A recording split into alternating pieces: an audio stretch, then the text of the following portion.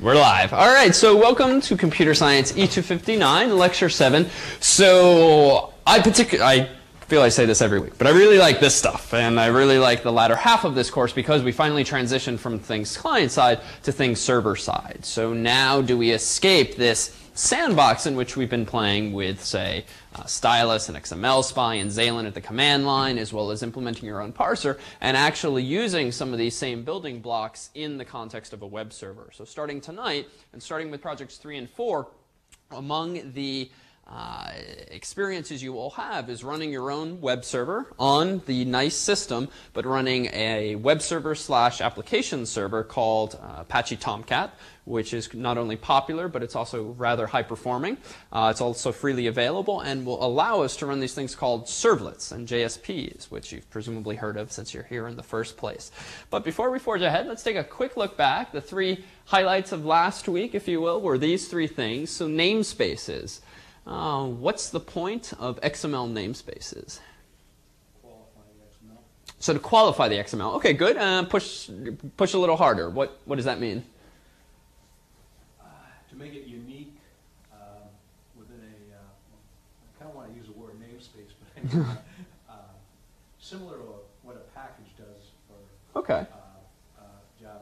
So sure, so similar in spirit to this notion of packages in Java, namespaces in XML allow you to say that there's some conceptual relationship among certain tags and or attributes and or um, well, tags and or attributes within an XML document. That'll become even more useful when in a couple of weeks' time we look not only at DTD, uh, the A language in which you can define the structure of a document formally, but also XML schema, which will use XML namespaces to associate uh, a so-called schema with an XML document. So more on that in the future. For now, you'll continue seeing namespaces by way of this XML NS attribute and using it to define prefixes, even more so now that on the server side, we're going to be increasingly generating XHTML and the like. So SVG was one other thing we looked at with which you played for project two, generating your Xtube maps. Uh, in a word, in a sentence, what's SVG all about? XML format for vector graphics. Yeah, so it's an ex- That restarts, basically. perfect. That's sort of everything. So it's an XML-based format for defining vector graphics, which allow us to define shapes, lines, circles, text, even anchors and such, but in such a way that those graphics are scalable. So the fact that you're able to hold Alt or Control and zoom in almost infinitely with Adobe's Viewer, even though eventually it says that's enough. Uh, in theory, you could scale without loss of fidelity ad infinitum because everything's represented underneath the hood with mathematical formulae, even though you yourself don't necessarily have to uh, implement or define those uh, formulae. XSL, FO, aka XSL. What's that all about? It's not a formatting language which allows us to use uh, XSL but to create PDFs, graphics, and other other formats. Okay, good. So it's a it's a formatting language, as one of its um, a part of the acronym suggests. It's an XML derivative, and it allows us to specify with great precision, actually, what a document should look like. And using a rasterizer like FOP, can we actually convert the FO syntax, which is, um, as you've seen, somewhat cryptic looking, maybe similar in spirit, though perhaps not quite as sophisticated as something like PostScript, but you can run it through a program and generate things like PDFs or images or other file formats still. So we'll actually employ this again in project four uh, in the context of generating what we'll call purchase orders or receipts essentially when a user checks out. So we'll come we'll weave that back into the course in a bit. Even though it too is called XSL, and even though it was linked early on with XSLT, it's actually rather different um, conceptually as well as in terms of implementation. So you can certainly use them together, but do realize that you need not use the transform transformative version of XSL versus the formatting object version. So this time, so we'll do a bit of an introduction first off as to what HTTP and what web-based development is all about. Um, for those unfamiliar in particular, we'll talk about this general buzzword of, of uh, N-tier enterprise applications, or really anything involving those ideas. And then we'll start honing in more specifically on Java server pages, aka JSP, as well as Java servlet. And we'll look at some initial servlets. Uh, we'll introduce Project 3 tonight as well, and just generally transition ourselves to the server side.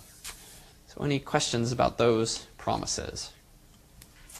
No? All right. So Everyone in this room has used a web browser before, and so when you sit down at your computer, and this picture is increasingly dated each year, uh, and connect to what we'll describe as a server here, we have this canonical relationship of clients and servers, and they somehow communicate via the internet. All right, so that's how the internet works. But what's actually going on inside of this transmission if HTTP is the language being used? Well, even if you're only vaguely familiar, what's HTTP? It's clearly something you've typed or seen every day, but Yeah, so it's an application protocol, a language in a sense that two computers, client and server, speak when they want to transfer or request web pages. Put in a nutshell, if you request of CNN the current day's news by just visiting cnn.com, enter. What's really being sent from client to server is a string that generally looks like this. Capital get, uh, forward slash for the default root, uh, followed by the, the version of the protocol being used, which might be 1.0 or 1.1, close quote, and that's essentially what's actually sent over the wire, though there can be some additional information. When the web server receives this message, it sees, okay, well, we want to get something. We, it's this that we want to get. The web server figures out that the absence of an explicit file name typically means uh, what file? default.asp or default.htm or index.html or any of these variants. So it's arbitrary. There are just conventions in the world. Figures out what file you want, ends up spitting it out um, back over the same socket connection so that the client ultimately receives the day's news, having visited cnn.com. So that's HTTP in a nutshell. If, however, that web page, the day's news, happens to contain images or flash videos these days, um, certainly with HTTP um, the latest version incarnations of HTTP, the server can actually keep this so-called socket connection open with the client so that you're not opening multiple connections to download a web page that has, say, a dozen different images and a few sound files, but all of that stuff can be shipped in the same pipe, so to speak. How does a client know upon receiving the HTML file what other files it needs to actually compose this web page?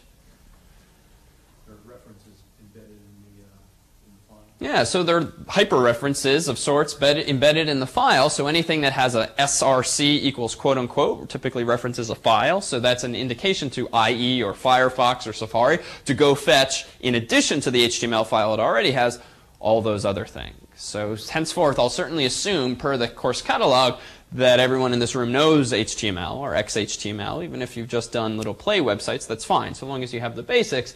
Uh, if you don't, as of tonight, know HTML, make sure you come back next week knowing HTML. And frankly, it's not that, all that hard to pick up.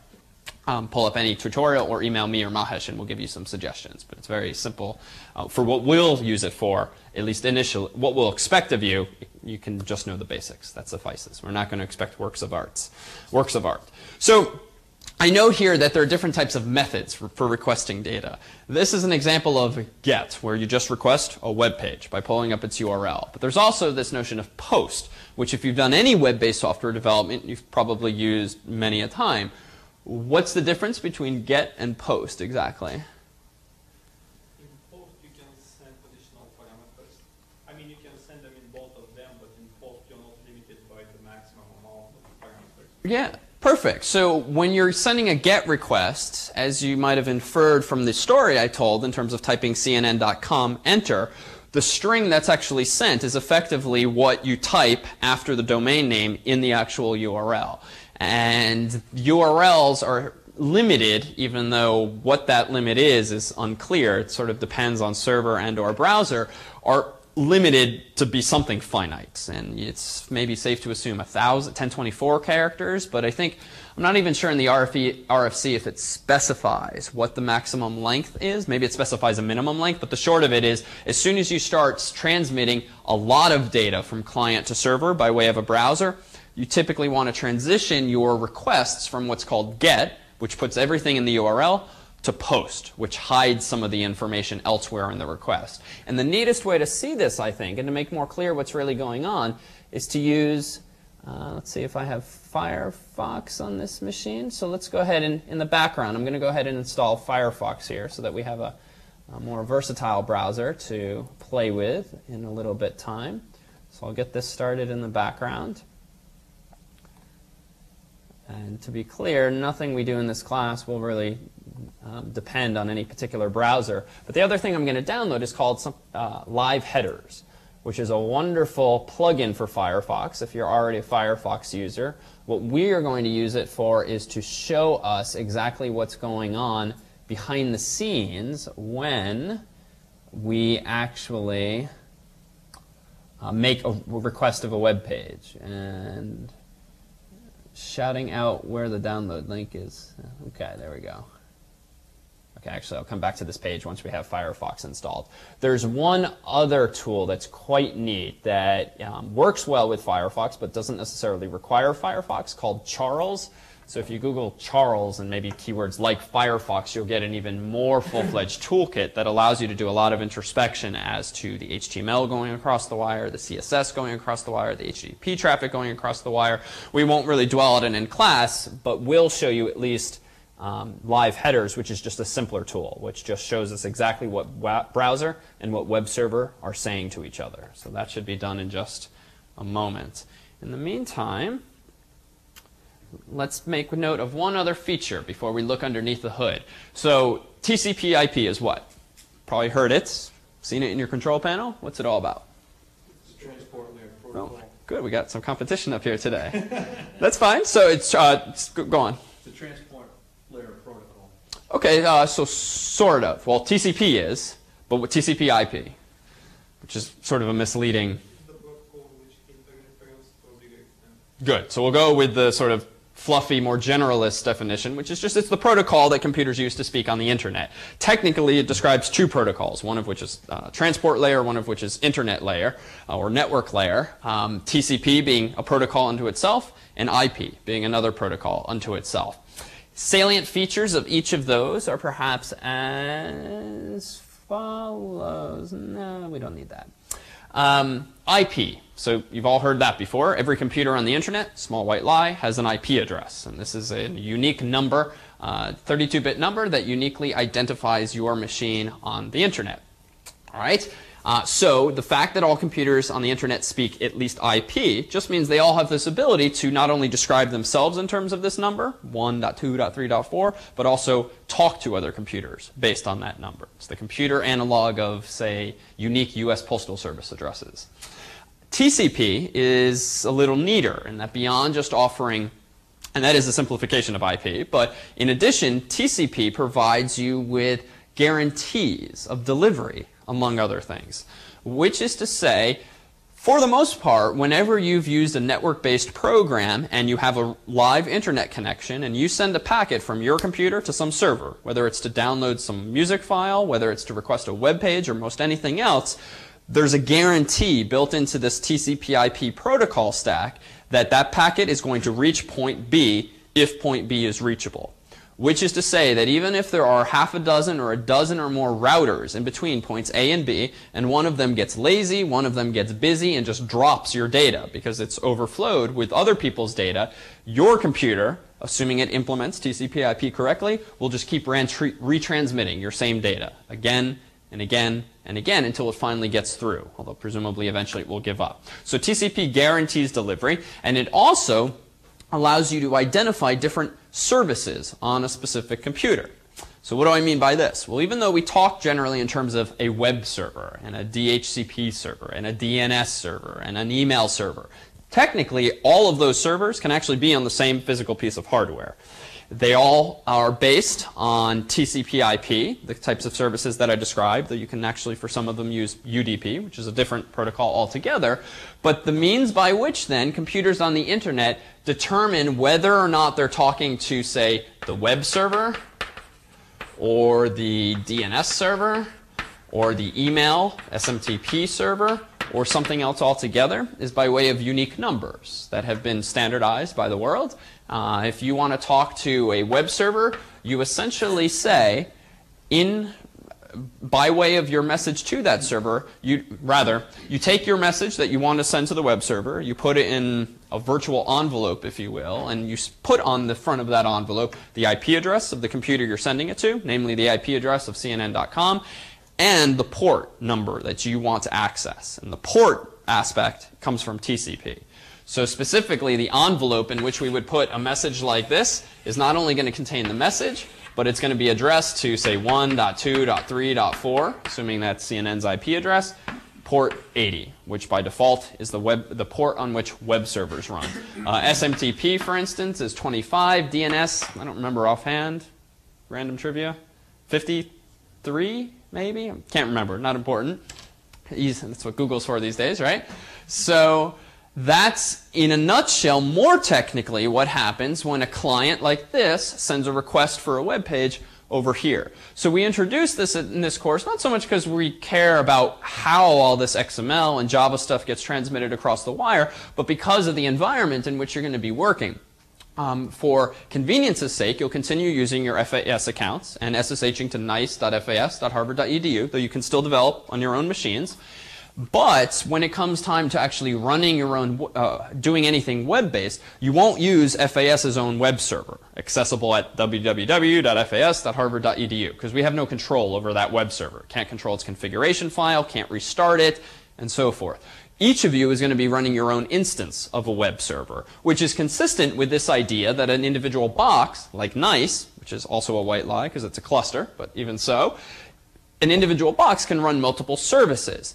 Turns out an individual box can run the same service multiple times, but on different ports so that you can uniquely address it.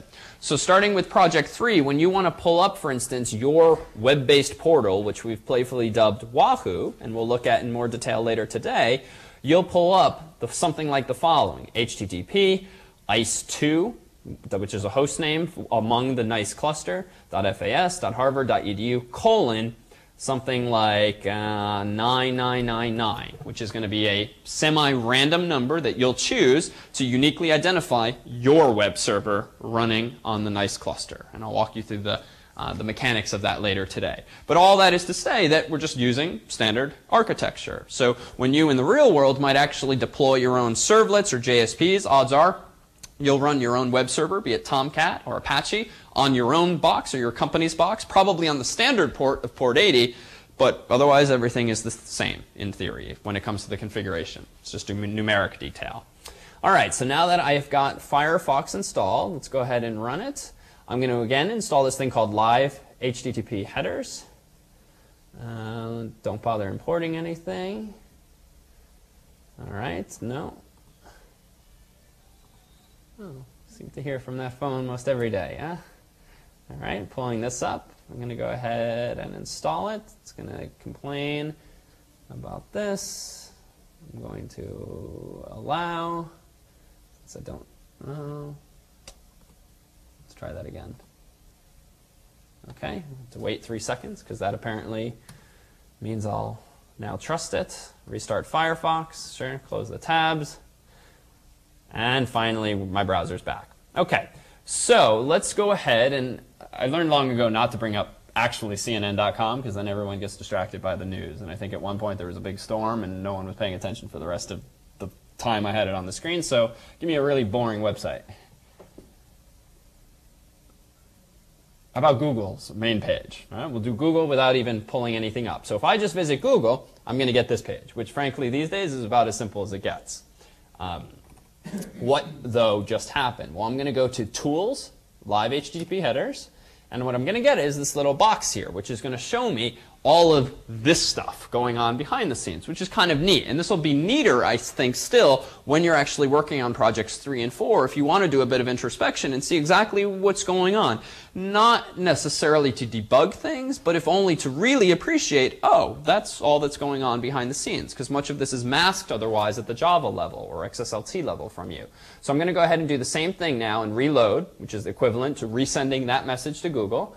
So I'll reload. And now notice that what I've got now is a transcript of all of the HTTP requests that just went across the wire, top to bottom. So here's the first.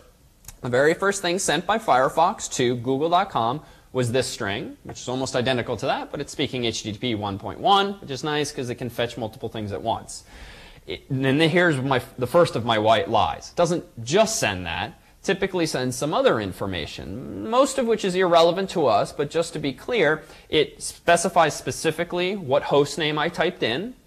This is useful if a web server is running multiple virtual servers, not only google.com but foo.com. They can all live at the same IP address, but this way the browser says, yeah, I'm pulling up 1.2.3.4, but the means by which I got that IP was to look up the IP for google.com, not foo.com. So that's a neat trick.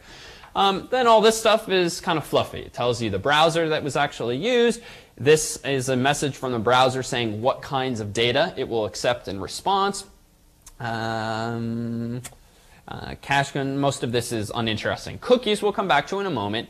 Cache control is a little interesting as it might affect some of your choices of projects for 3, 4, or the final project, because sometimes you want to um, avoid any caching of data so that you don't get stale web pages.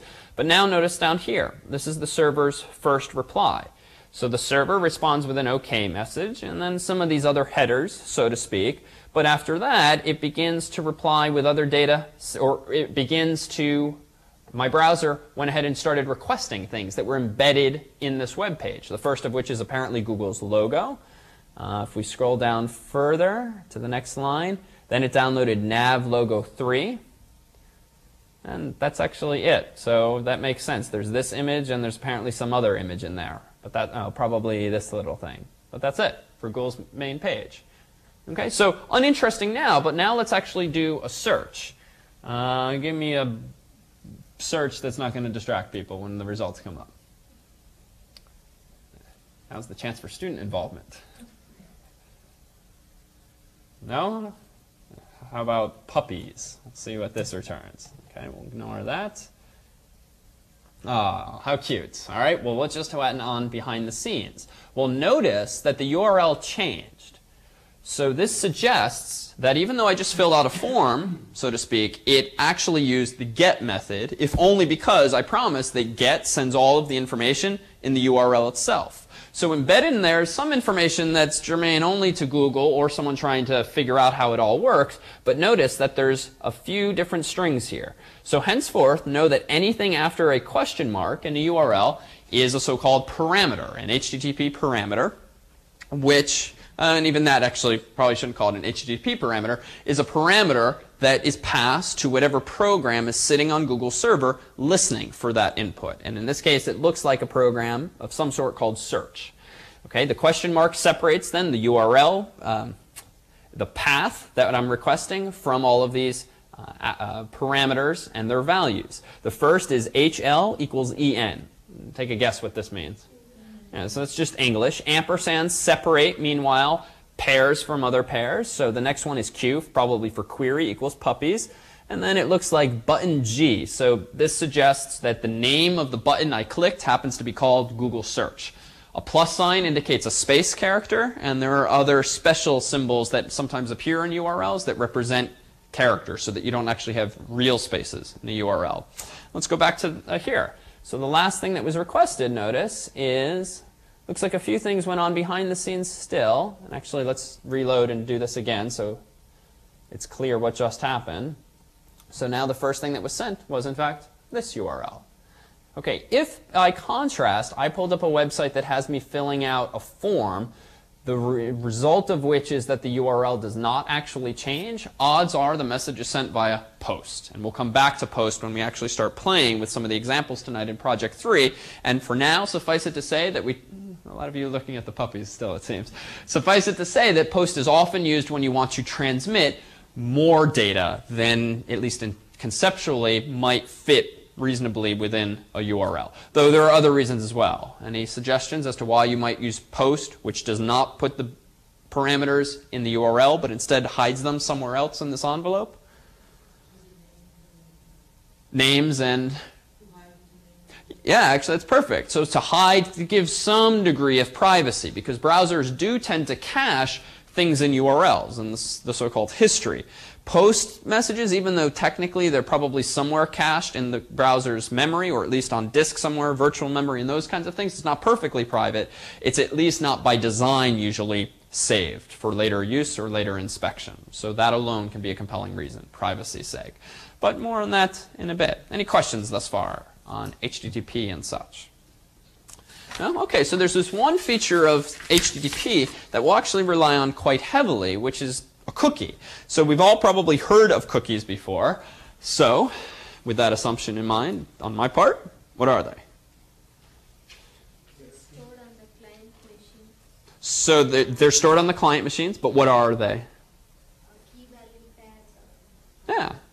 So it, they're usually a text file put on your hard drive by a website that contains a key value pairs, and they are used so that the website can remember some amount of information about you. And this slide really is just meant to be a visual cue as to what these things are all about. You don't need to worry about this, um, the, the grammar here, the definition per se. It just happens to be excerpted from the RFC. Incidentally, RFC, request for comments, is for the internet world what recommendations are to the W3C world, is the word for standard or specification.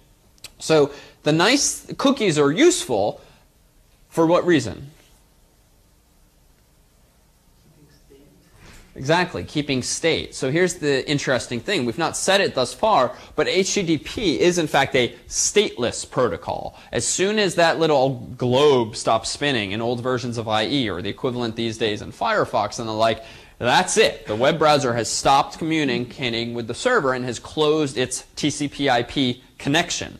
The implication is that the web server, effective immediately, has probably forgotten who that person is. So the next time I request a web page from the server, it might be coming from the same IP address, but that's not really a guarantee of anything these days given how many people share IP addresses at home, at offices, at universities. So you can't just assume that if Joe Bob previously visited me from 2.3.4.5, that IP address, that if I see that same IP address, it's the same Joe Bob. Could be someone else on his same network. So cookies allow the web server to remember on a per machine basis who someone is.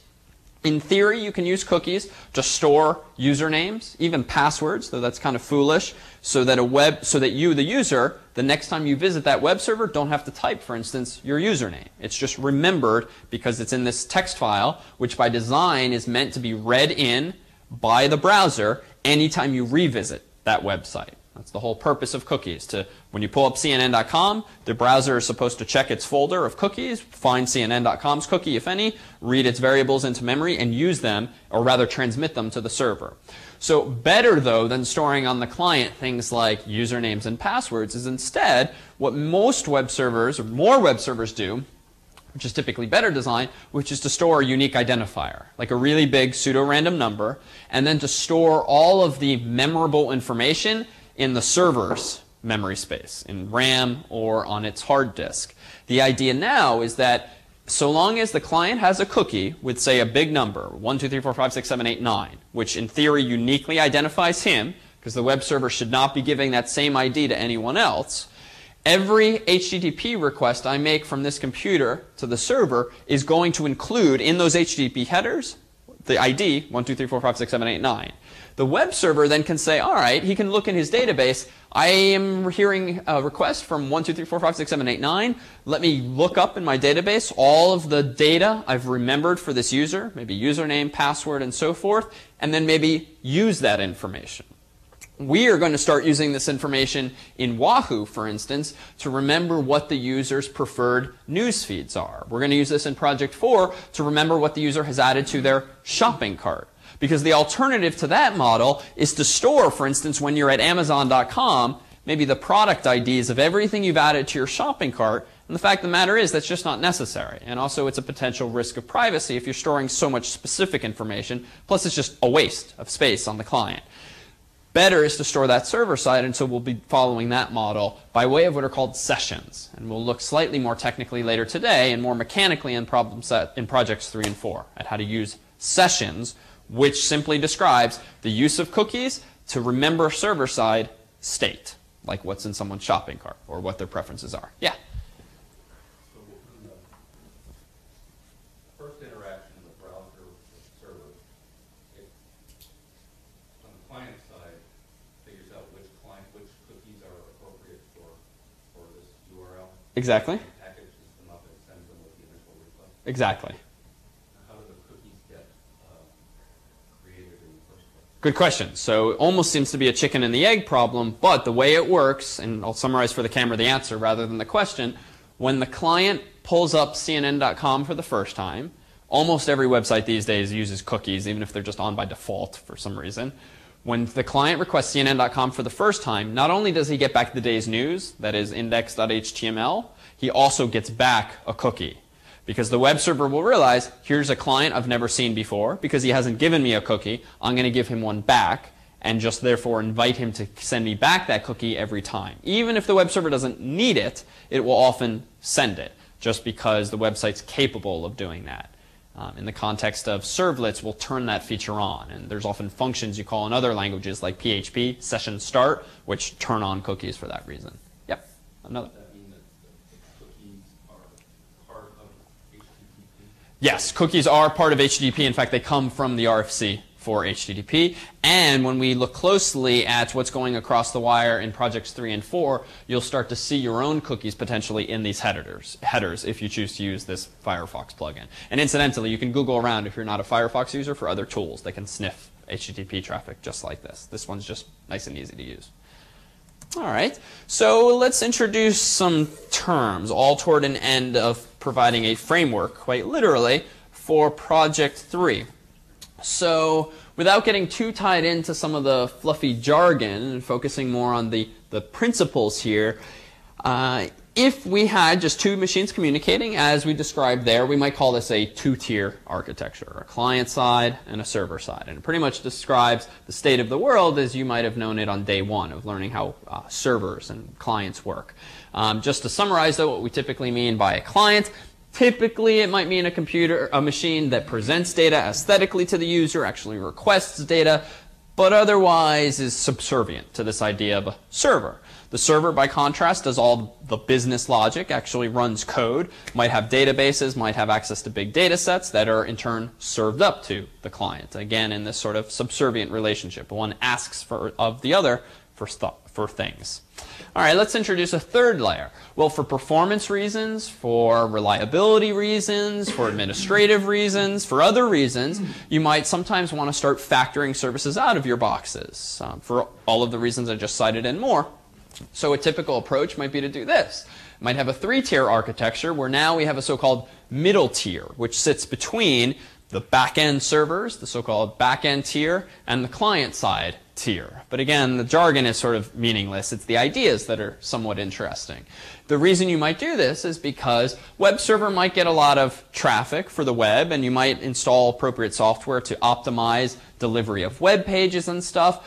But an email server might not be as busy. You might want to have a farm of email servers. You might want to do um, some kind of spam filtering before emails come in or go out. So in short, you might just want, for whatever reasons, to run a separate box. Well, we can just sort of factor out that functionality. So rather than running multiple services on one box, we might quite literally start factoring them out.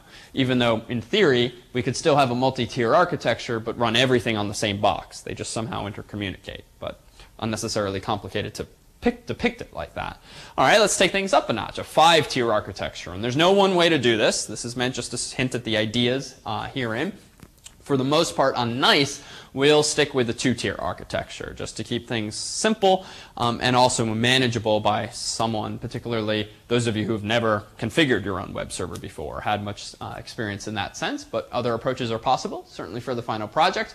Here we might continue to put the web server as close to the user as possible, but he in turn might talk to a so-called application server, which is just a box whose sole purpose in life is to execute code, maybe take input, produce output, but not static output, which a web server is typically better versed at for caching reasons and the like.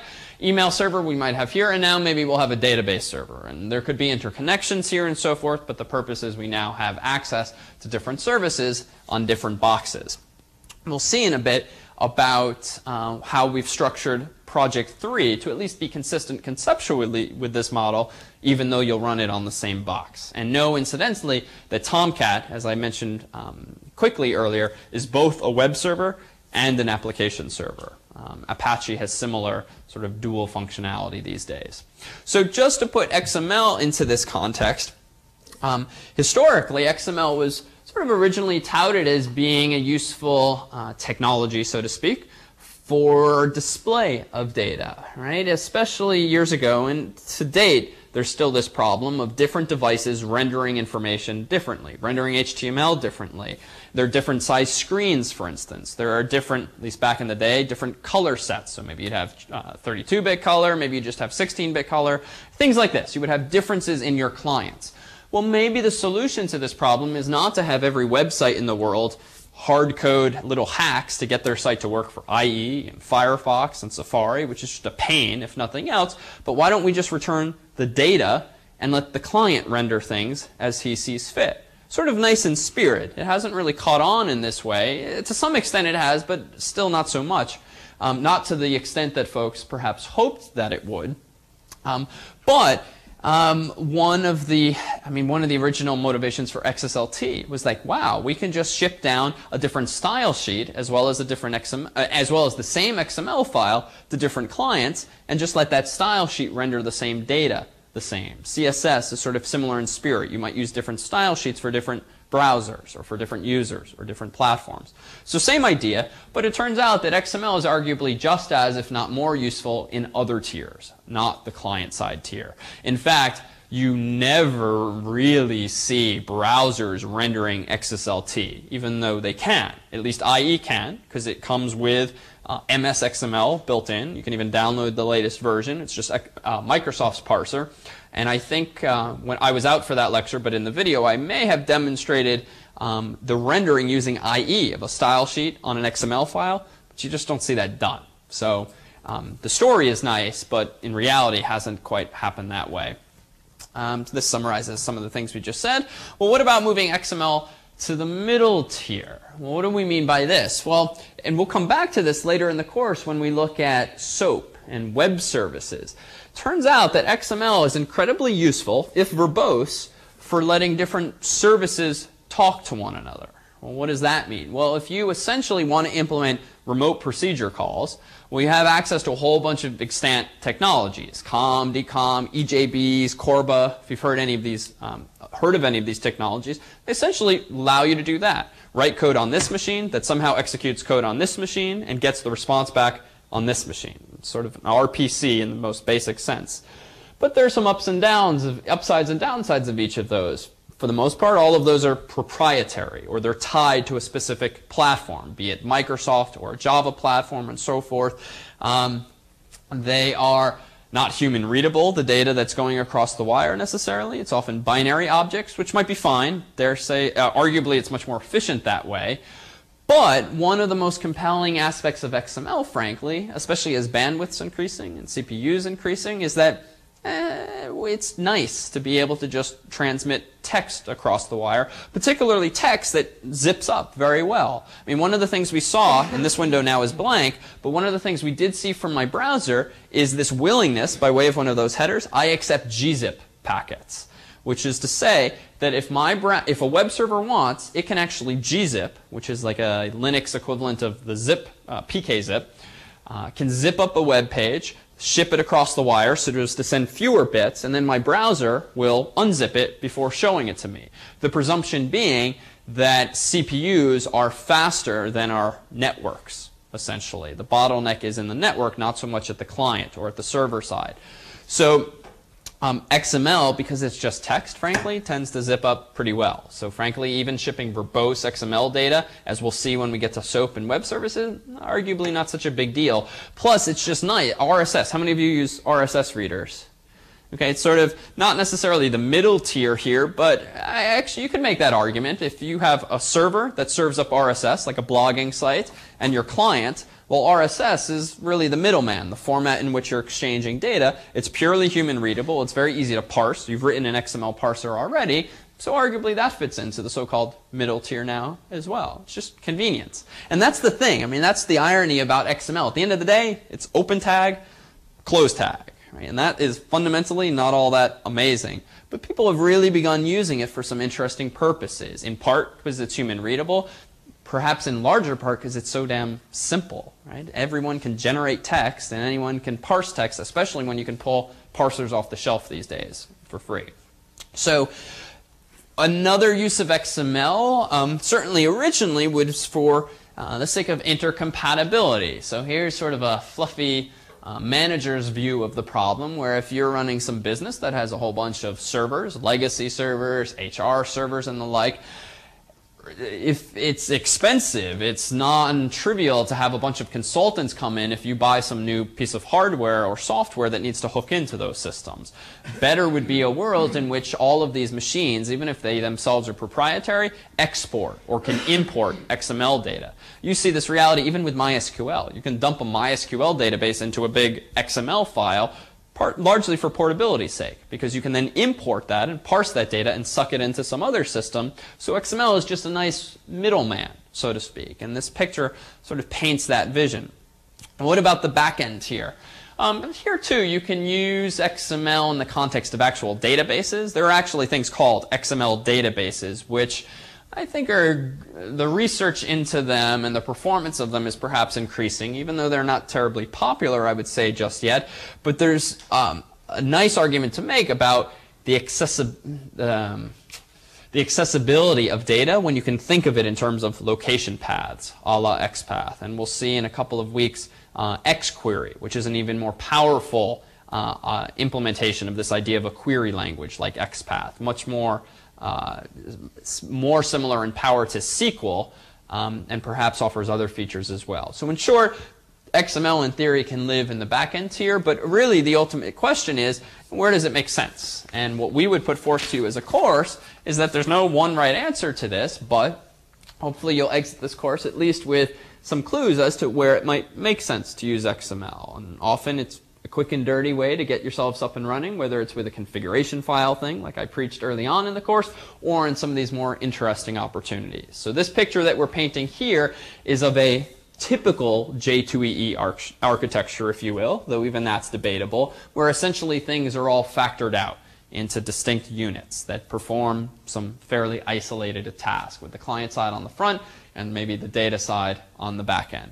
Presentation layer would typically have your web servers and the like um, and or your business logic layer would have similar logic. EJB is a, lot, a bunch of stuff we don't focus on so much in this course, but the general principles we do borrow from, in, as we will in Project 2's, arch, 3's architecture. Any questions thus far? No? Okay, why don't we go ahead and take our five minute break here, and we'll resume with JSPs and servlets.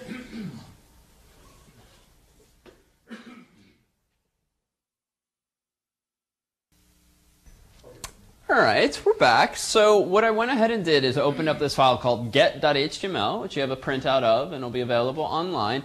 It's really just a quick and dirty example of the types of fields you can use in an HTML form. I'll again assume that most of you are familiar with this, but if not, I would just Google around about uh, HTML forms after tonight. Uh, long story short, these are the basic building blocks of input um, provision to a web server by way of a web page. Google had this. We had a big text field, and we also had a submit button. I too have those in this simple example, as well as a little select menu, as it's called, a checkbox, and then these radio buttons, as they're called. All right, so what I'm going to run on the server, though, is the following. So it turns out because Java comes with most uh, the proverbial kitchen sink, writing a web server in Java takes only that many lines of code, and most of them are comments. So this is what uh, I think I've took this from, yep, a nice article online on Lycos years ago now. And this is just a class called Diag Server, which extends a built-in class called Network Server. And essentially, the sole purpose of this web server is going to be to listen for HTTP connections on some specified port on this box, and then to echo back, I believe, the response and just print it to the screen so we can see what's going on. So I'm going to go ahead and compile this as you might expect with javac. I'm now going to, uh, actually, let me just double check one thing. diagserver.java, port 80. Uh, okay, yep, I want to specify a specific port, so I'm going to run Java of diag server and I'm going to somewhat arbitrarily choose, say, uh, 9876 for my port number. Anything above 1024 is probably fine because on these systems, nice, on which I am, odds are no one else is really running their own web service. We tend to be among the few, if any, courses that actually do this. So you have about 65,000 possible numbers to choose from without accidentally choosing another student's. Uh, if over the course of the term you have implemented Wahoo and you're pulling up your website and it looks a lot better than yours, um, odds are you've just chosen someone else's port number somehow. So double check.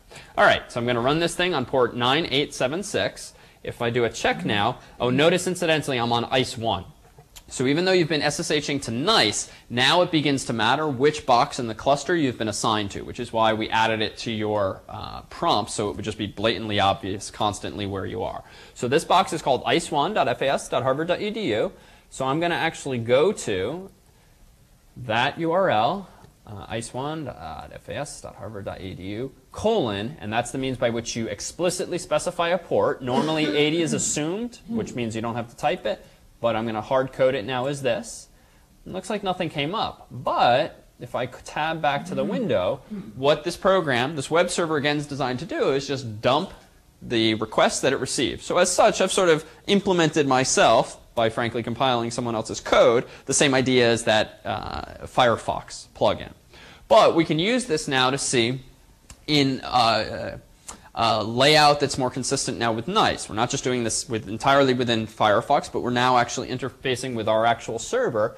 We can see what goes across the wire when I submit a form. So notice that I'm going to go to my local machine here in today's example 7 directory. And I'm going to open get.html, and here's the source code. It's small, but we're not going to dwell here very long. I'm just going to check the action at value for the form so that it's going to get submitted to the right place. And I'm going to go in here and change this to 9876 uh, so that it goes to the right place. Notice I've specified a method of get, and then I just have all these fluffy little input types. Okay, that's what creates this web page. I'm going to reload the page that I already showed you. And now I'm going to type foo. I'm going to type in David. I'm going to check the number 1. I'll check the box. I'll choose 1 for Quux, and I'll call this a comment. And now I'll click Submit. Okay, nothing again happened because the web server is not responding to the browser, but it is responding to the console. So what was just sent by my browser was this string, which because now I have full control over the web page, unlike Google, we can be a little more uh, controlling of what gets sent. So I'm requesting the root of my web server, which again is this dummy program. Question mark means here comes the parameter value pairs. Foo's value is David. Bar's value is 1. Baz values is on. Quux is one, and Quux, double Quux is comment, and then we just have the protocol and version. And all this stuff, it just got sent for free by the browser, trying to tell the server what it's capable of, essentially.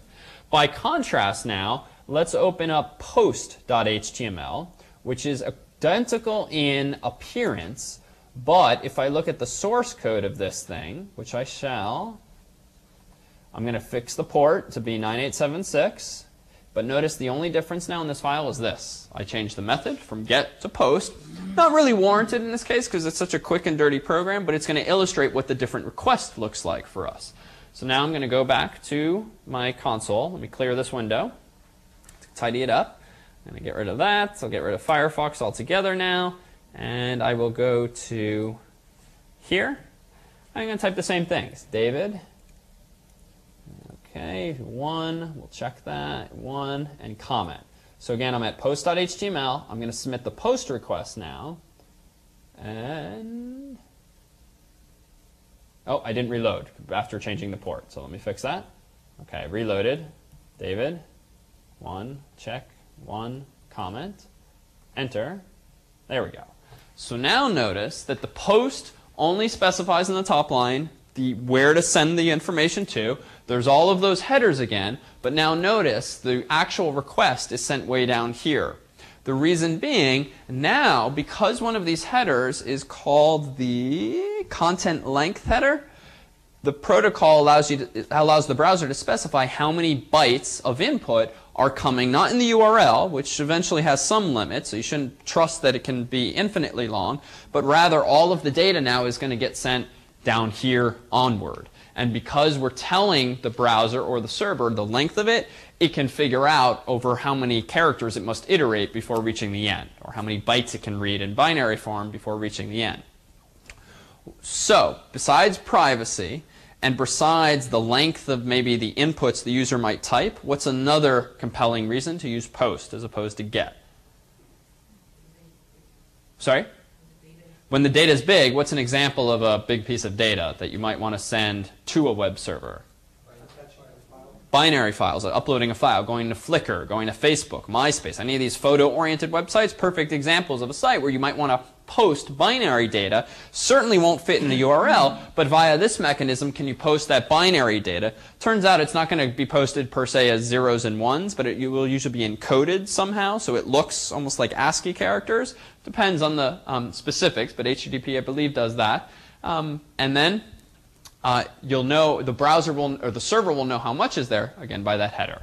So the point here is just to illustrate what's going on behind the scenes, and here too, can you poke around come projects three and four? Yeah. How how browser does not separate, you know, variable and names? How d- uh, when it's sending binary data? So I believe when binary data is being uploaded. You know, I'd have to check. I'm not. I've never actually looked at the inside of a packet if you have not only binary data but also other fields. So I would have to check, to be honest. Mine. Does it use my? But how does it separate it aesthetically from the other variables? I'm not even sure. Okay. I'm not sure offhand. But if you whip up a quick web page that has a file field and the appropriate tags, you could certainly add it to this very program and you'd actually see the example. Other questions? No? Yeah. This is all text, right? This protocol is defined in terms Correct. HTTP is just pure text, and which is why it encodes using uh, you propose what basics def- Mime. mi- so some kind of MIME encoding to actually upload the data. Yeah. of. I noticed there's cookies in this post. Yes. And for this page, are those some sort of default standard ones? Yeah, you know, I, I actually have to take the fifth on this because I've seen this before, but I'm not sure why that's coming across unless. Oh, you know what it is? I, I think because I've used this browser earlier today to pull up various websites on FAST, it's possible that some. Actually, I think that is what it is. Um, so I think some of the cookies that maybe my other course's website spits out, or the PIN authentication stuff that Harvard uses, which I think is the culprit, when you send a cookie from server to browser, you specify the domain for which it's valid. It can only be for your domain, but if you have subdomains, you can specify that this cookie is for harvard.edu, or more specifically fas.harvard.edu, or more specifically um, mailin.fas.harvard.edu's machines. So what I think is happening is I think the PIN folks return a cookie that's valid for all of harvard.edu. My browser still has that cookie and thus is shipping it up in this connection. So good question. I think that's where it comes from. So for our purposes, it's just a distraction right now. But it's actually a good example of how cookies themselves are sent. They're just sent in the HTTP headers. Okay. I think, um, let's see, we looked at that, that, uh, post. Uh, there's this file I gave you source code for, http.cgi. It's just a Perl uh, script that allows us to similarly do this introspection. I'm going to wave my hands at it, but for those of you who know Perl, you might find it interesting. But let's go ahead and take a look now at what we're going to be doing on the server side. So JSPs are essentially uh, allow you to JSP essentially allows you to include Java code within a file that is intermingled usually with other types of code like HTML. So any of you who have coded PHP before or used Perl for CGI stuff, have coded ASPs, JSPs is sort of Java's answer to that same idea. It can be used poorly in that it tends not to be a great principle to intermingle aesthetic stuff like HTML and commingle it with uh, logic like JSPs. Actually, I can relate it more uh, more relevantly to um, this class. When we've been intermingling HTML or XHTML and XSLT, sort of the same idea. But JSP is like that same idea, but substituting Java for XSLT. So we too have been using it, and in limited form, it certainly is reasonable. But um, it, uh, there are mechanisms and infrastructures that allow you to integrate Java more cleanly into your code, and one of those ways is what's called uh, Java servlets. Um, and actually, before I get ahead of myself, let me note that here's a quick and dirty example of a JSP. This is Hello World written in JSP. All of this is HTML, except for the little uh, scriptlets here, which are demarked by open bracket um, uh, percent sign, and then we call out, which essentially is system.out, the analog in this world of web pages, dot print, hello world. And then over here, I've got my semicolon and then the close tag. So that's it. If you pull up this file with a web server or an application server that supports JSP, before spitting that data out to the user, it will parse, it will execute anything between these open brackets and percent signs, figure out what the results are, which clearly should just be hello comma world, and then return that result. So it's server side executed. The browser should never see these open bracket percent signs. Okay? Um, here's another way, just so you know it exists, but it's a very tedious way of writing things. Uh, it wouldn't be XML if there weren't a way in XML to implement these same things. And you can use scriptlet tags, which rather than using the nicer or quicker syntax of open bracket per, um, percent sign, you can actually be more explicit. That here comes a little JSP script. So know that syntax exists, but arguably not so much fun to use. All right, so what about a servlet?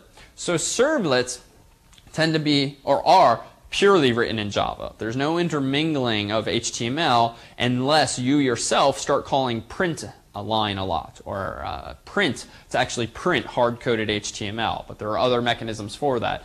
Servlets tend to work nicely with JSPs in that you can write a JSP much like you would an XSLT style sheet and have actual XHTML in there and have blocks of code, like a, the equivalent of a for loop, so that you can iterate over some data set, like a node set, and generate some XHTML dynamically.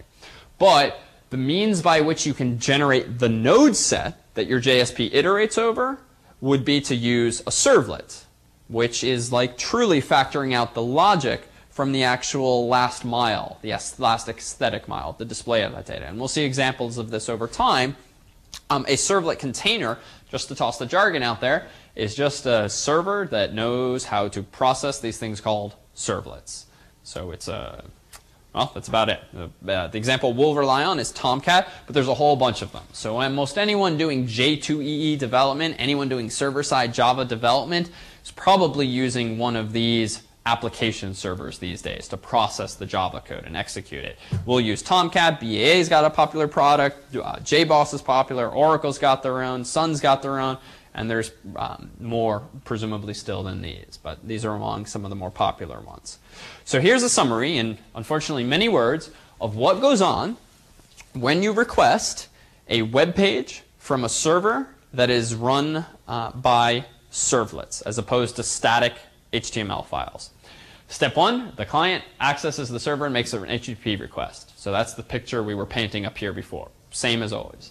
Step two, the request is received by the web server and then passed off to the servlet container. So already here we have this notion of uh, multiple tiers where the web server is just sitting there waiting for requests and when it realizes, oh, this request is for a JSP or a Java file, a servlet, let me just pass the buck to someone who knows how to process those requests. Because a web server typically just spits out the actual HTML and CSS and graphical data and the like, assuming that's how you've configured your architecture.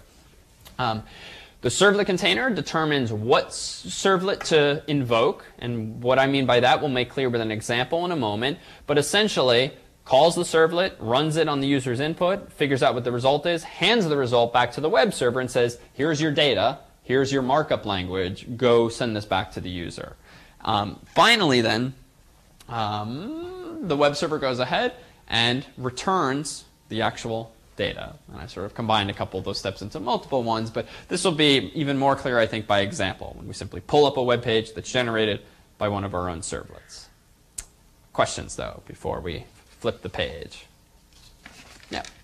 So the HTTP protocol, the thing with the request like the slash or Mm-hmm.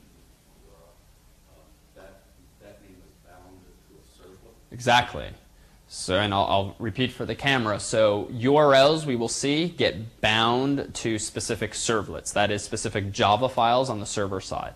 And we'll see that in the context of files called web.xml, which are configuration files that um, Tomcat uses to provide that mapping between URL and Java class that you want to handle the request. In fact, we'll make this more real now by looking at the two packages in which most of the relevant stuff exists. So we promised, I think in lecture one, that the course will expect that you just download Java 2 Standard Edition version, whatever, and we'll add to that distribution the pieces of Java 2 Enterprise Edition that we choose to use.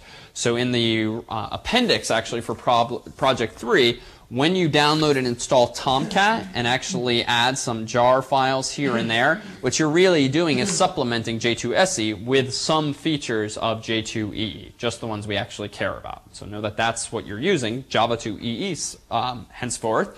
And let's take a look now at a couple of examples that actually make real what we just described.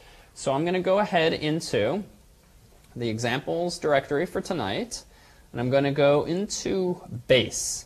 So inside of base, which is a subdirectory here, there's four directories which are representative of a small Tomcat setup for an application. We'll see in a bit that project 3 is similarly structured. All right, so what does this thing look like? Um, let's go ahead into conf.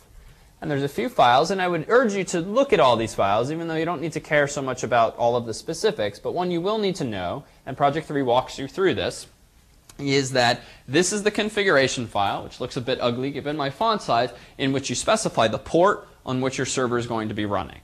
Okay, and we tell you at the top of this file what you need change, but I'm going to go ahead and somewhat arbitrarily choose port 8081 here for the shutdown port, even though we tend not to even use that one. And then down here, there's another port attribute, which I'm going to say 8080. Again, sort of arbitrarily, but it's somewhat of a convention. And that's it. The rest of this essentially uh, configures the web uh, the Tomcat instance, that is the web server, to know about the structure of this application that I'm about to host. So in a nutshell, and Project 3 walks you through this a bit more carefully, I believe. This line here is specifying that the server is going to run on localhost. Look in the web apps directory for the applications that we're about to play with and then some other stuff. All of those files can in turn be found in a root subdirectory. And we'll see this in just a moment. I'm going to ignore the other configuration files because you yourselves don't have to touch them. Although, is that, do I want to take that back? Yep, I'm going to ignore those.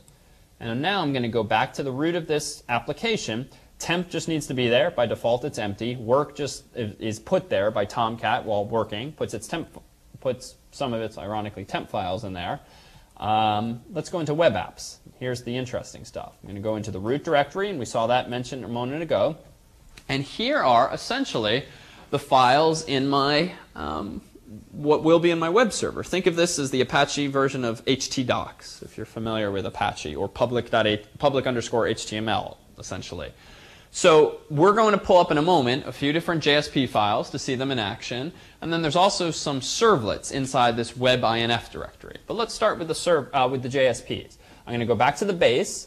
And as Project 3 will have you do, um, we have installed Tomcat, the latest version, on Nice in such a way that you can run it, that is spawn your own web server, just by running Tomcat in the directory uh, for your application. In this case, it's our Lecture 7 dummy application. For you, it's going to be the directory called Project 3-8.0. Okay, and you'll also have to choose your port first. So you're going to get some somewhat cryptic messages talking about uh, when the server started up and what started up. So long as you don't see any warnings or errors, they're fine. You can largely ignore the info messages. But notice that it does say that it's initializing, initializing Coyote, the web server, on port 8080. And Servlet Engine got started, so that's a good thing, presumably as well, and some other stuff happened. So now, notice I'm on ICE1 still, port 8080. Let's now pull that up. I'm going to change my 9876 to 8080, enter, and now I see a directory listing. And even though I'm on ice1.fas, you might think that, hmm, I've just pulled up the web server that someone at Harvard is running. But notice if I kill the server with Control C, and reload this page, it's clearly my server that I just pulled up, even though this looks similar to any web server's directory listing. And uh, IE just lied to us and gave us back the same page. It's not actually running. So let's go ahead and rerun the server. It takes a moment to start up. Reload now, it's definitely there. And I'm going to go ahead and pull up Hello 1, my first JSP. Very underwhelming. But it worked at least. In fact, if I look at the source code, even though the font will be a little big, there's none of those scriptlets. There's none of those open bracket percent sides. They were, in fact, executed server side, as expected. Uh, hello2.jsp is just the scriptlet version, so it too works the same. Happy End is something that we'll tend to provide you with for the projects. Um, it produces the output of uh, environment check. That is a command we've had you run at your command line to make sure you're good to go. This just dumps that same kind of output to the browser so you can make sure that your own box, especially if you're developing not on NICE but your own system, is configured with the right versions, lest that be relevant to some feature of code that you're using. And it looks like, yep, I got Xerces 271 and Xalan 270 and Java version 150 uh, update 13. And the updates for this course don't so much matter, but do make sure you're using 150. Maybe 160 would work, but most of this software um, from Apache has not been tested with that thus far, to my knowledge. All right, well, after that, um, we don't appear to have a WEB-INF directory because, in fact, that thing is hidden from view by way of some configuration files. So I'm going to go back into web apps, back into root, and now dive into WEB-INF, and I'm going to ignore xml.jsp. It's not all that interesting for tonight's purposes. And now I'm going to go into classes, and notice, here are three Java classes. All right, so now we're making some progress. I'm going to go ahead and open up hello.java. And notice that all it takes to write what's called a Java servlet is, as is the case in the world of Java, just extend someone else's work. It happens to be called HTTP servlet. Notice the packages I've included are these up here, two of which I promised in that last slide. If I scroll down, what I'm going to do is a few things. I'm going to specify the MIME type that I'm about to return which is going to be text slash HTML. I'm going to just get a reference to what's called the writer, the equivalent of system.out for web pages. And now, and this is a bit of a hack, but it's for demonstrative purposes here, I'm just calling println a bunch of times and outputting some hard-coded HTML just to generate a simple web page. But that's it. That's the end of the servlet. So Notice, though, that in the parent directory there was this file called web.xml, which I mentioned is our config file. And it's in this file where we have this mapping now between URL and classes. So scrolling down here, I see the following. The servlet called hello will be mapped to the class called hello. Similarly, we're going to see in a moment something called parameters, parameters, visits, visits. But down here, here's the path. So I'm ar somewhat arbitrarily saying that any URL that looks like slash servlet slash hello should be mapped to the servlet called hello, which in turn maps to the servlet uh, class named capital hello. Okay, so this URL goes to this servlet, which goes to this class. And that's all. I could have chosen foo slash bar slash bash slash hello, so long as I then pulled up that URL. All right, so before looking at these other two servlets, which are more interesting than hello, let's go ahead and actually, can't forget to compile the code. We'll automate this task for you with an ant task so that it gets dumped not in the same directory as your source, but into a build directory essentially. But I'm going to go back to the root here, type tomcat. Now that I have those class files, and I'm going to go back here, and again, it still doesn't appear, but by that imaginary URL, I'm going to go to servlet hello, and there it is. There's that servlet. Okay? If I now navigate back to that directory, let's take a look at those other two guys and see what they're capable of. Parameters is again a little uh, demonstrative application that this time is going to output a MIME type of text plain. It's just going to be for demo purposes. Here's that same reference to a uh, writer. And now it looks like the means by which you get the HTTP parameters that were submitted to a web server is to call request.getParameterNames. And if we look up the Javadoc for this method, we'll see that it returns an enumeration, which is the generic Java type. The place that I took request from is this. Notice that the method we're in right now is this method called doGet, which takes a reference to a request object and a response object, and much like default handler gave you a lot of methods for free, same deal here. Because parameters extends HTTP servlet, I'm just overriding the built-in method called doGet to make sure that anytime a GET request is passed to this servlet, this method gets called. Take a guess what other methods exist. Do post, right? So there too, and we'll see a, um, we'll see that one in project three. All right, so now I have a data structure of Java. Um, if you're not familiar with enumerations and linked lists and these things, this too is something the course assumes. So best to bring yourself up to speed or ask questions of the staff. But now all this program is going to do is demonstrate how I can iterate over these parameters. Quick dummy application, but this basic building block should prove quite useful in project three, when you actually need to take input from the user and do something with it. So while params has more elements, I'm going to grab the next element, casting it to a string, because I just know that stored in this enumeration are a bunch of strings, because they're HTTP parameters, which is just ASCII text. Then I'm going to print that parameter, followed by a colon, followed by its value. All right, how did I know that these methods existed? Well, again, the course's Javadoc will be your friend. So computer science 259, click resources as always. And then at the top near our APIs, now henceforth, you can begin playing in the Java Servlet API. So I'm going to go here, and let's go to, let's find this guy, an HTTP Servlet request, since that's where I took this stuff from in the first place. So here we are. It's an interface. I'm going to scroll down, and here's a bunch of methods. So get, uh, what did we call? Request get parameter names must come from somewhere else. So let's take a look. Here it is, get parameter names. And there it is. It returns an enumeration, and the Javadoc qu quite simply explains that it returns a bunch of strings, which are the parameter names. Clearly, there are some other methods here, get parameter values, get parameter map, get parameter, and so forth. So this isn't the only way to get at that data, but it's one of the ways. And we as a course would refer you to the Javadoc for other ways, that certainly. That's it. That's all this program is going to do. So let's run this. So I'm still running my web server. I'm going to go back to that tab and go not to hello, but parameters, I think. And I didn't get anything back, but how do I pass a parameter called foo with a value of bar to this servlet? Ah, good. Too easy. There it is. Let's do another one. How do I separate them?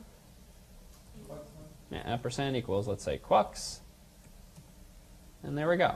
And repeat, repeat, repeat. Simple example, but demonstrates how you can get access to that data in a servlet. So already pretty cool. Now let's take things one step further and look at visits.java and see how we can use this notion of a session, which is pretty cool. So this demonstration does the following. I'm going to explicitly get the parameter called user. I'm going to check if it's null, then let's just um, let's just terminate. Forget it. There's no purpose to this demo. Next, I'm going to grab from the request the session object. So as promised before, because of cookies, there's this server-side state that you as the server-side developer have access to, and it's generally called a session.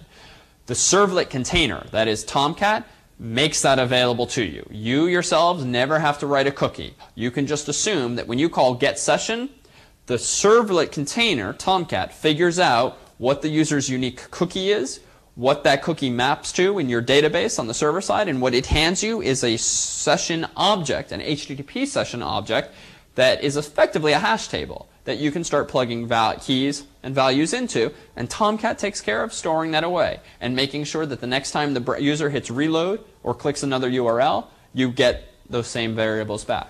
It's really cool, frankly, how, how much you get for free just by calling this method. So now I have a reference called sesh to an HTTP session, and all I'm going to do is this. You have to realize that because at the end of the day, all of these things are Java collections, you can't just store primitives in them. If you're storing key value pairs, you can store objects. So the goal of this program is just to keep track of the number of times each user has visited. So the goal here is to do the following. First, well, actually, let's ignore this for a moment. How do you remember how many times the user has been here? Well, I'm going to call set attribute on the session, passing in a key and a value. The key is going to be called user, and recall that we got that from the user parameter. So it's going to be Malan or something like that, whatever I type in the get string. And then I'm going to store a new integer object, which turns out is the result of visits int value plus 1. So ugly syntax, but all this is doing is taking the current number of visits for this user, incrementing it by 1, and storing that value in a new integer object. Because again, with Java collections, you can store keys and values where those values are references to objects, which is why we have to jump through these hoops. Where did I get visits from? Well, to get something from the session, I call ses.getAttribute, and then what it's called I know this thing's going to be an integer because I put it there, so I'm going to cast it explicitly back to an integer object. I'm going to call it visits. I'm going to do a quick check if it's null. If it's null, let's set visits equal to the integer object with the value 0 inside. And just if you're not familiar with the integer class, if you call the object dot int value, it returns the primitive, which I can then add to this primitive or this constant 1, and then pass that whole answer, which the second time the user visits will be 2, back to the constructor for the integer class, which gives me another object which stores the value 2. Fortunately, you don't typically have to jump through all of these hoops because you won't often just be storing numbers. You'll be storing strings, for instance, and strings are already objects, so the problem sort of goes away. But we're kept a little conceptually simpler, but syntactically more complicated for this demo. So let's see the result. It's already compiled. I'm going to go to visits and remind me, what am I going to see when I hit enter now? Not one, not two. Exception. Because if I fail to provide that username, recall that my code was designed to trigger an exception, which is one of these famed uh, HTTP 500 errors. But I did provide an error message, which is useful for me right now, missing user parameter. So now let's fix this. And I didn't have to bail. I could have printed a nice, pretty error message, but useful to see what the exceptions will do for us in this context. Question mark, user equals Malan. Enter. Fixed. Okay, notice, no state. The browser has disconnected from the server. If I hit reload, though, the server seems to know how many times I've been there. Reload, reload, reload, reload, and so forth. The server's counting up the number of times. If, however, I'll copy the URL, but I close this tab, now open a new tab and go back there, it's still remembered. Because it's using a uh, session cookie, so to speak, which usually means that by default, the browser, as long as the browser's process is running in RAM, it remembers the cookie. If I kill the whole browser, though, and now reload a new browser instance altogether, assuming IE behaves as I expect, there we go. It reinitialized it. So the cookie here, by default, the session object by default, seems to only exist for the life of the browser window. If by contrast you want more persistent cookies, you'll need to make more specific method calls to actually have the data persist across browser processes. But for the most part, those kinds of sessions are sufficient. These um, lives of the browser sessions, and that's what many websites, most websites probably tend to use. Yeah, questions? When you did the uh, get attribute, Uh, does it, huh? does, does that also remove that from the attributes list? Good question. No, it doesn't remove. It doesn't pop anything out of the session. It just retrieves the value. Oh, okay, so you could have really, since that's an object, you could have just incremented that and it would have incremented the object that would still be on the list, right? And you wouldn't, you don't really need to do the set attribute in this case? Uh, it's a good question. I forget in the integer class if you can change the primitive tucked away inside of it. No? Okay, so no, um, which is why I had to create a new object altogether and plop it back in. But because I gave it the same name, it clobbers the old object. Okay. Other questions? No? Okay, so let's come back here for a moment. Sessions, I present this pictorially with the shopping cart, but we'll see in Project Forward that allows us to implement precisely that idea. In Wahoo, it will allow us to implement the notion of um, uh, users' preferences. There is one, um, one matter, which those of you not too familiar with multi-threaded programming, that's worth noting. So in, I think Wahoo, yes, in Wahoo, you'll see that we have the, we use the word synchronized. Uh, I think that's the, uh, I'm forgetting my Java. Synchronized the right keyword, Java? Yep, okay, so synchronized. Among Java's nice features is that simply by way of this keyword, you can essentially prevent multiple threads from calling the same method simultaneously. Well, why is this useful? Well, notice that I only wrote one copy of, for instance, um, the visits servlet. And with Wahoo, which is even more sort of compelling, we're only going to write one login servlet, one preferences servlet, one view servlet. But in theory, thousands of people might be using my portal simultaneously. Ergo, the same methods, called foo for instance, might be called by multiple users simultaneously. And that's fine in theory, but if any of your methods use global variables or share some memory space that uh, they uh, share some memory space, you have this potential problem about synchronization. And by that I mean if two different users visits to your web page might trigger invocation of the same method and both instances both invocations of that method try to check the value of some variable or change the value of some variable one might not happen before both uh, the second might start executing while the other is still executing simply because of the way of how a CPU or the JVM handles multi-threaded programs the implication is that the user's um, the data returned to the user might not be as you expect. And this will be easier to discuss in, with concrete examples once we start playing around with the projects and you perhaps trip over this issue in your own code. But know for now the following real world example. A wonderful example I learned way back when uh, taking an operating systems course was uh, a dormitory with two roommates and a fridge that is uh, has no milk left. So suppose one roommate comes home, opens the fridge for a bottle of milk, and realizes, ah, we're out of milk.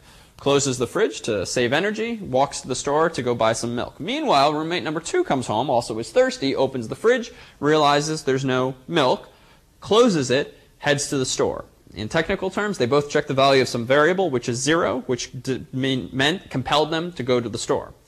Meanwhile, roommate one, he went to a different store, comes home first, opens the fridge, increments the variable by one. Now we have one bottle of milk. Roommate two comes home, opens the fridge. Damn, there's already milk. Now we plus plus again. There's two bottles of milk, which is not the goal. We don't drink enough milk. It's going to spoil. This was sort of a bad end result. So that's sort of the silly real world example. But it illustrates the problem of shared memory space, even something trivial conceptually like a global variable or a static variable. So how could the two roommates solve this problem so that they never end up with two bottles of milk and thus one wasted? Leave a note. Perfect. Better yet, padlock the thing so that the other roommate can't get even get, get in. And I suggest that only because the nomenclature in programming is to actually use a lock or a semaphore, uh, which is just this um, usually operating system or language construct that allow you to prevent other threads, aka other methods, from entering the same chunk of code simultaneously. So Java provides you with this ability with the keyword synchronized. You essentially can declare that a method is synchronized, which means that the JVM will only let one thread call that method at once. Unfortunately, if you have a lot of looping in that method, if it just takes a really long time to execute, you could grind your whole application to a halt because only one guy can go through there at once. And for a web server with hundreds, thousands of users simultaneously, you don't want big, long, slow, synchronized methods. So the rule of thumb is to keep these things as short as possible, to wrap only the delicate code whose execution needs to be atomic. So we use this actually in Wahoo, not because there's a huge probabilistic risk of state getting messed up, because it is important to realize that any time you start doing this multi um, threaded server coding, which you are by nature with servlets, you have to at least appreciate these issues. Otherwise, you're going to get these non-deterministic bugs that are hard to troubleshoot just because only once in a while do threads actually um, cause the, the problems to become manifest. So realize that in the fridge example really captures exactly the problem at hand. So in short, if you ever use some shared memory space within servlets that multiple that one or more methods might try to access, consider synchronizing the code and preventing um, multiple threads from entering at once. All right, so project three is all about making your own Yahoo-like web portal. Simpler than Yahoo, but one that is going to allow a user to log in with a username and password, and if they don't have such, to register. A portal that's going to allow users to browse available feeds of news in different categories and subscribe to their favorite ones. And then also a portal that has some kind of personal touch, maybe the ability to look up weather by pulling it from some third-party website, looking up news tick, uh, stock tickers, sports scores, anything like that. The spec elaborates. The architecture that we are going to employ is essentially this. So we sort of model things in a way that it has conceptually three different tiers, even though all this stuff's going to be happening on your own client and our server, nice. However, per the appendix, you can do all of this stuff, which is pretty cool on your own Windows machine, Mac machine, uh, Linux machine, so long as your code ultimately works on NICE and uh, compiles and gets submitted there. There's going to be three servlets involved in this application. A login servlet, which we've actually written for you and handles the process of letting a user log in and register. The pref servlet, the view servlet, unfortunately, do nothing. what they should hopefully eventually do is the view servlet should let the user look at the day's top articles, and this is current news. It's a live feed of data uh, from a source called moreover.com, freely available XML data. The view servlet should let me see today's top stories in the categories I care about, the ones I'm subscribed to. The pref servlet should allow me to change my preferences and what I subscribe to. The news provider class and user manager class we provide to you. Um, this one is a class that simply fetches the data that's appropriate for moreover if you call the appropriate methods and the user manager actually stores all of the users for this, uh, for this website in an XML file. So because realistically we're not using supporting hundreds or thousands of users, we actually just dump all the user preferences into an XML file, which for small sites, perfectly reasonable. And also it's a nice way of now sort of uh, transitioning us to the server side while still using some of those basic building blocks. So let's take a look now. In our project 3 directory, you will see that you have a structure very similar to the one I already promised. So build.xml automates the building tasks, which saves you some keystrokes in javac.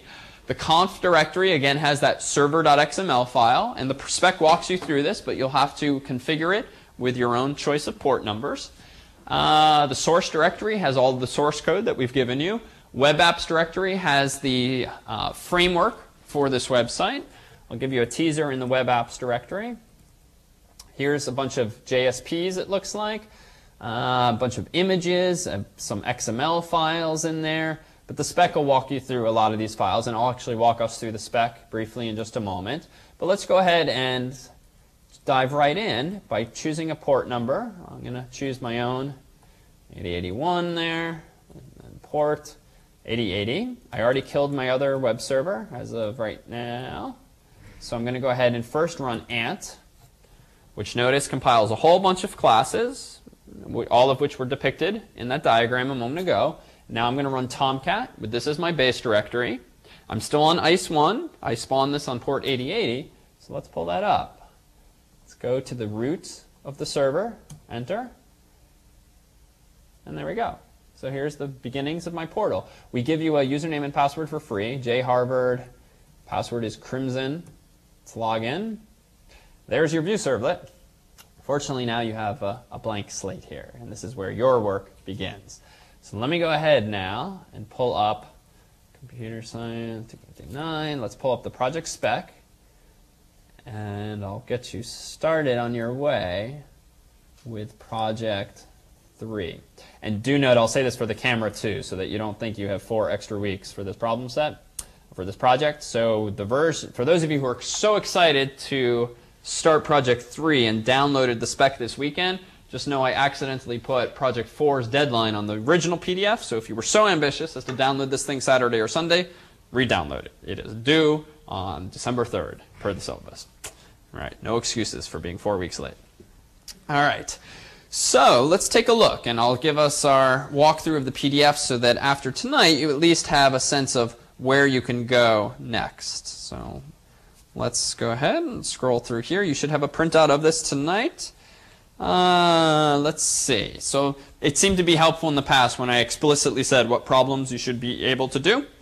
So one, two, I'm going to skim over some of the details for now since it's really meant to be a narrative that walks you through a lot of the code. Three, four. Um, let me make note of four so that you can jot yourself a note. We've not gotten yet to DTD. And as in past projects, when you don't notice, uh, don't recognize some syntax, unless you've been completely disengaged, probably just means we haven't gotten to it. So even though I think it's very reasonable to read for, because it's sort of a language DTD that you can infer the meaning of, just realize that it will make more sense next week. But this isn't. This is a zero-point question anyway. Um, number five, we introduced the architecture, which I already did visually. So do read that through for narrative's sake as well. It tells you where everything is in the directories, because more so than the past projects, there's many more files and many more directories, none of which are large, but it's just organized in such a way as to be as consistent as possible with industry standards. We have a source directory, a build directory, a web apps directory. So there's a lot of structure there, even though the app is somewhat small. Uh, number Six is, uh, okay, meant to make you smile. And number seven is where the real work begins. So 7 essentially prescribes the requirements for the view servlet. So if we, I won't read this verbatim certainly, word for word, but the design choice we made, just so that we can tra- begin transitioning from project 2 to project 3, is to actually generate the view page by way of an XSL file called view.xsl.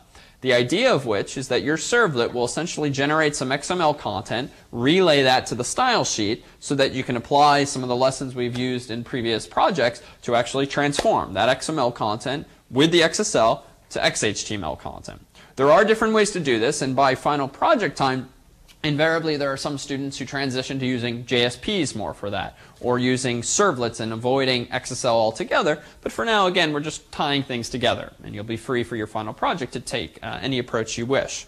But essentially, these um, lowercase Roman numerals specify exactly how this view servlet must behave. You'll find that we put in the preferences file for the JHarvard account already some subscriptions to feeds. Because the catch, of course, would be it's kind of hard to implement the view servlet if John Harvard has no preferences, but you have no preferences servlet with which he can sign up. A little chicken and the egg problem. So we hard coded in some preferences for JHarvard so that you can actually start building the view servlet right out of the box. So that presumably John Harvard, when logged in, should see his favorite news feeds and the top headlines. But problem number eight, which you can also start tackling after tonight, has you uh, start implementing the pref servlet. And frankly, this too, this entire uh, problem, can you also bite off after tonight? What you'll find is that we'll focus on DTD next week.